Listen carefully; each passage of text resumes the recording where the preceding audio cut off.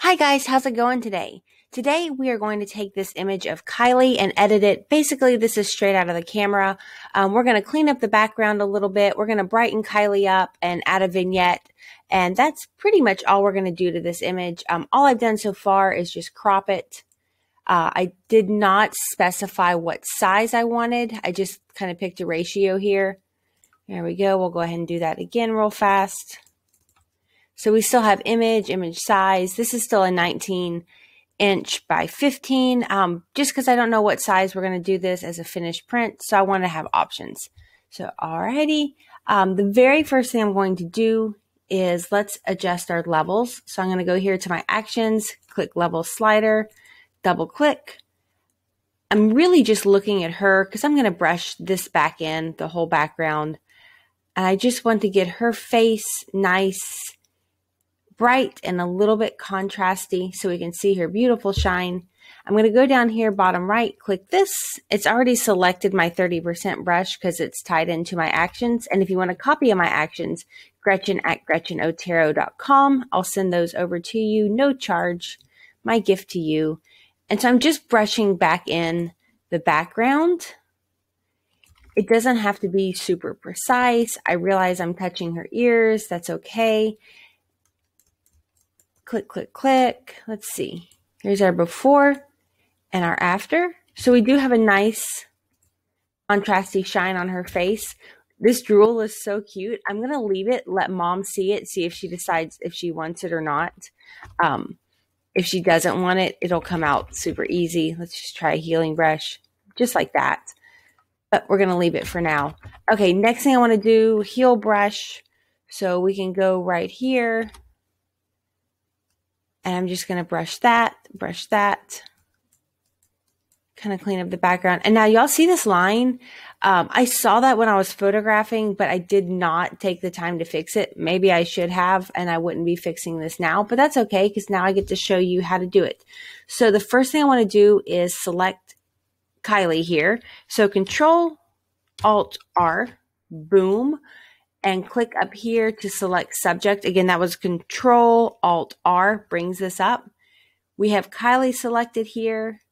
I'm going to leave all this the same and output to new layer. Say OK. I'll go down here to my layers palette and click that. If your layers palette is missing, you can find it here in Windows Layers. If you want to make your workspace look like mine, um, I have a video for that in my setup. So you're welcome to look through my channel, find that video. Um, maybe if I remember, I'll put a link in the comments, but I'm really bad um, about remembering to do that. So now we have Kylie as a separate layer. We could drag her around if we wanted. She's also in the background. Um, but what we want to do is select our background layer I for eyedropper tool. And I'm going to select kind of like this medium gray right here.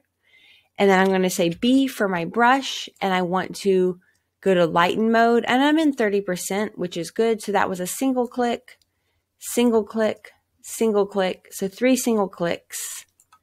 And now I'm going to say I again for eyedropper tool. And I'm going to pick a slightly darker shade, maybe right about here. B for paintbrush, and then I'm going to go to darken mode. 30% still. That was a single click, single click, single click. Maybe down there just a little. So since we made Kylie a layer, we were able to go in and just haphazardly brush um, and not mess her up. So she's completely fine there. And you can see her before and after. There's before, there's after. I like that. I'm going to hit F8 to flatten I think this is good. We're just going to go up to our actions, click black vignette. I'm going to make my brush a little bit bigger using the bracket keys. Oh, wait a minute. I'm going to drag that up there. For some reason, it didn't flatten, but that's okay. Um, if I had it there, the gradient fill is kind of behind her and we want it on top of her. So that's okay. Click back right here. There we go. And I clicked F8 to flatten. That is um, a setting in my actions. You can also go to like the layer flatten, or you can just get a copy of my actions. Happy to send them to you. I'm going up to my 100% brush just on her face. There we go. Maybe another 30. And then before vignette, after vignette. It's lovely. All right, guys, that's all I have for today. Um, don't forget to like, subscribe, share, um, leave me a comment if you have any questions. I'm super happy to help, and I'll talk to you later. Thanks so much, guys. Bye bye.